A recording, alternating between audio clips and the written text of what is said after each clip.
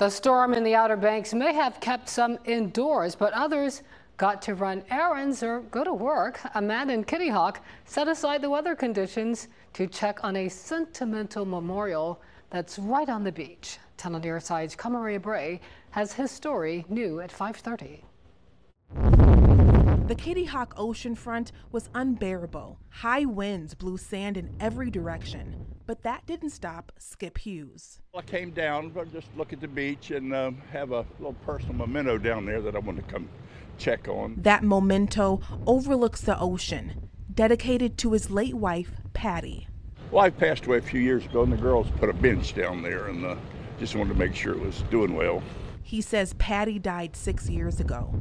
His love for her is stronger than any storm. We have it chained down, but just to make sure that it's uh, still in good shape.